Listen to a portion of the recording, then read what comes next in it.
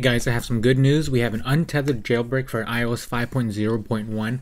Now this jailbreaks for iPhone 3GS, iPhone 4, iPhone 4 CDMA, iPad 1, iPod Touch 3G, iPod Touch 4G. Unfortunately, there's no jailbreak or untethered jailbreak for the iPhone 4S or the iPad 2. But as of now, this is the jailbreak for it. Real simple, just download your Redsn0w 0.9.10b1 for um, OS X or Windows you can see in the comments below. And just follow the video, real simple. All you do is open up Redsn0w. And if you are currently a Tether jailbreak, you'll see what I mean. You will untick the install Cydia. If you're a fresh jailbreak, you'll just install everything. Okay, first start off with turning off your device. Just hold down the home button, slide it to off, wait until it turns off.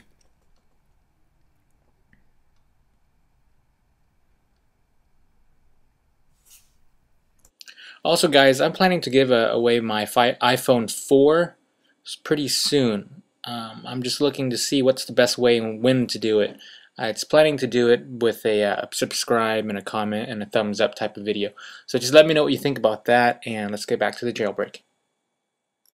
Okay, once your device is off, you want to click next. After you click next, you will, you will be holding your power button for about 3 seconds and then hold the home button and power button at the same time.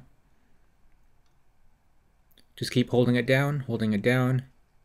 After that, you will let go of your power button and keep holding your home button. Just hold it until Redsn0w starts jailbreaking. Keep holding it, keep holding it. There you go.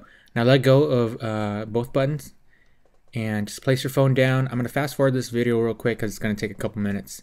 Let uh, Redsn0w do its thing and once it's done it'll be jailbroken. I'll show you that it's an untethered jailbreak.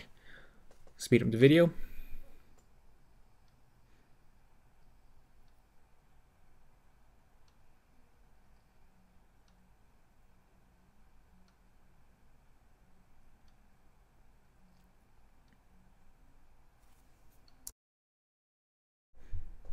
Okay, once it's done, go ahead and just boot up your uh, phone again. Just unlock it. I'm going to show you that Cydia is currently on the phone on iOS 5.0.1. Open Cydia up, and there's Cydia. Open it up for you to show you that it's on there and currently working. There's no uh, white label or white icon or anything like that.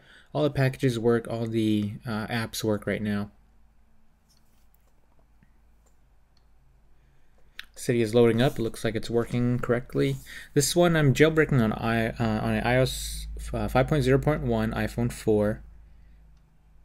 And I'm going to go ahead and turn it off for you to let you see that it is an untethered jailbreak.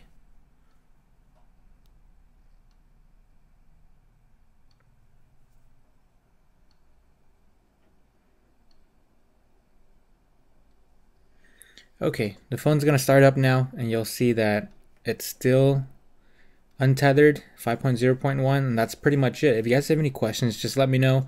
Leave a comment below uh, on the box below and remember to subscribe. I have more videos coming up on jailbreaks and other information. Some giveaways also. If you guys have any questions just let me know and remember to subscribe